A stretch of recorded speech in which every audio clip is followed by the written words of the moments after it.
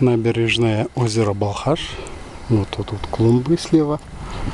Справа кубы какие-то вот с узорами из цветов таких пластмассовых.